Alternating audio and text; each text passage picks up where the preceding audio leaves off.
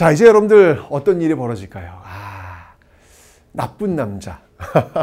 숙종. 아, 숙종은 정말 아, 여러분들 그 조선 시대 여러 왕들이 있지만 가장 강력한 왕권을 보여주었던 사람을 한번 꼽아봐라라고 하면 저는 숙종은 될것 같아요.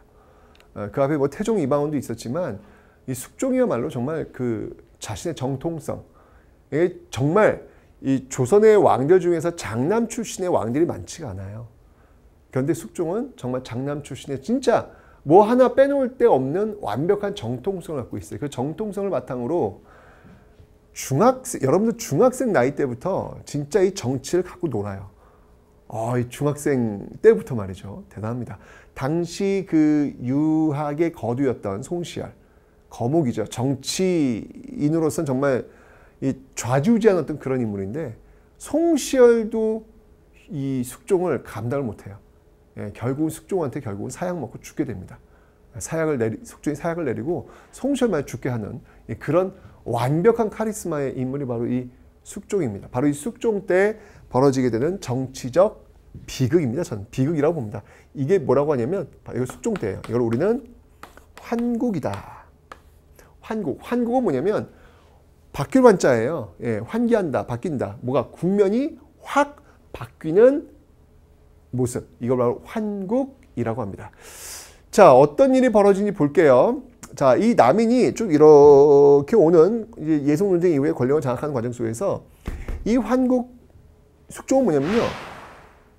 때마다 권력을 이번엔 남인, 이번 너 죽어, 이번엔 서인, 이번 너 죽어, 이번 남인 이런 식으로 이런 식으로 권력을 확확 교체하는 거예요. 그 왕권을 바탕으로 해가지고 이러니까 밑에 있는 신하들은 공포 정치, 공포 정치.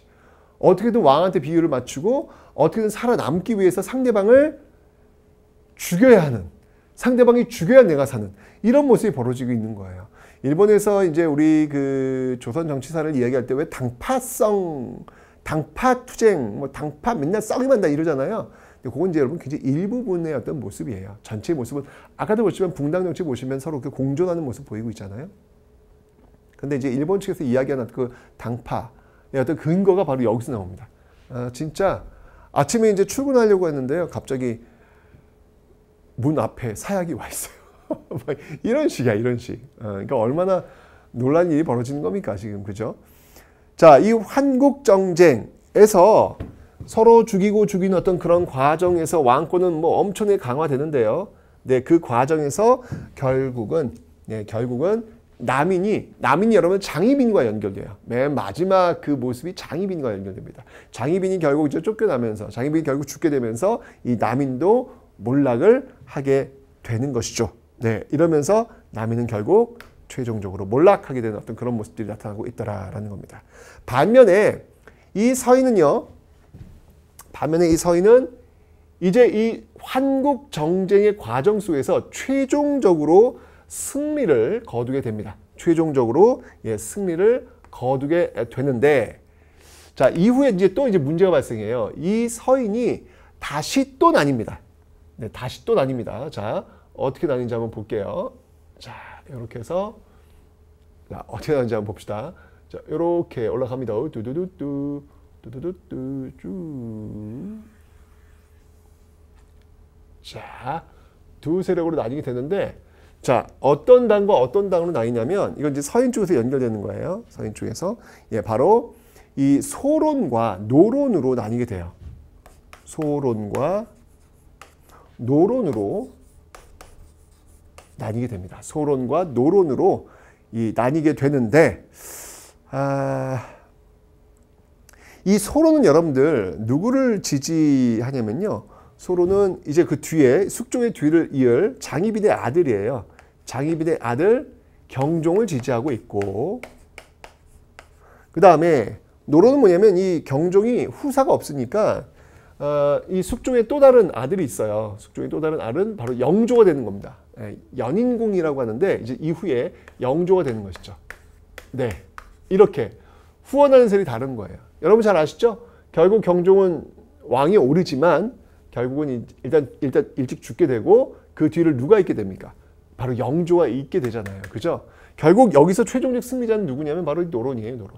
예, 이 노론이 결국은 권력을 계속 잇게 되는 예, 그런 모습들이 있더라라고 하는 거.